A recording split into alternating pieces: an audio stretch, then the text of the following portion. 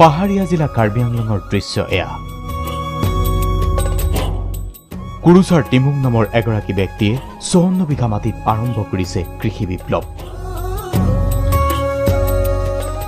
বিগত আঠটা বছৰে টিমুঙে প্ৰতি বিঘা মাটিতেই ষ্ট্ৰবেৰী খেতি কৰিছে। লাখে লাখে টকা উপাৰ্জন কৰিছে। চৰকাৰী সংস্থাপনলৈ বাট নাচাই এতিয়া ষ্ট্ৰবেৰীৰ খেতিৰেই কৃষি বিপ্লৱৰ সূচনা কৰিব খুজিছে কুৰুচাৰ টিমুং নামৰ এইগৰাকী ব্যক্তিয়ে। বৰ্তমান সময়ত চৰকাৰী চাকৰিৰ পিছত দৌৰি সময় নষ্ট নকৰি কৃষি কৰ্মৰ যোগেৰে নিজকে সংস্থাপিত কৰাৰ লগতে আৰু আন দহজনকো সংস্থাপিত কৰিলে।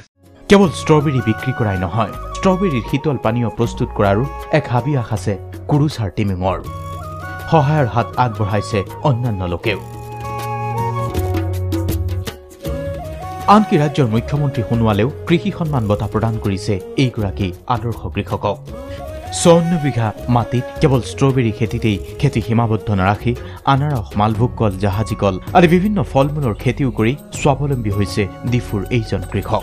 মই বিশেষকৈ মই ষ্ট্ৰবেৰীত মই বহুত ইম্পৰ্টেণ্ট দিছোঁ কাৰণ ষ্ট্ৰবেৰীৰ নিচিনা বস্তু ইয়াত আমাৰ কাৰণে বহুত চুইটেবল কাৰণ ইয়াত মাটিৰ বহুত সাৰুৱা আছে আৰু মই অৰ্গেনিকেলি এইটো মই কেমিকেল ফাৰ্টিলাইজাৰ ইউজ নকৰি মই এই খেতিটো মই আগবাঢ়ি লৈছোঁ। পিছে টিমুঙে চৰকাৰী সাহায্যলৈ বাট চোৱা নাই। নিজেই নিজৰ ভৰিত থিয় দিয়াৰ সপোনক বাস্তৱ ৰূপ দিয়াৰ বাবেই কুৰুচাৰ টিমুঙে এফালৰ পৰা খেতি কৰি গৈছে হাৰ বগা পৰিশ্ৰম কৰি। আজিৰ তাৰিখত নেতিবাচক চিন্তা আৰু কৰ্মবিমুখিতাই চানি ধৰাৰ সময়ত টিমুঙৰ এই কৰ্মস্পৃহা আৰু সফলতা নিঃসন্দেহে এক ইতিবাচক খবৰ। য'ত স্বাৱলম্বনৰ পথ বিচাৰি লৈছে কৃষি কৰ্মৰ জৰিয়তে। তাকো নিজস্ব উদ্ভাৱনী শক্তি আৰু কঠোৰ পৰিশ্ৰমৰ মাজেদি। কেমেৰা পাৰ্চন বিপ্লৱৰ সৈতে ডিফুৰ পৰা Rajbir Singh D Y three six five.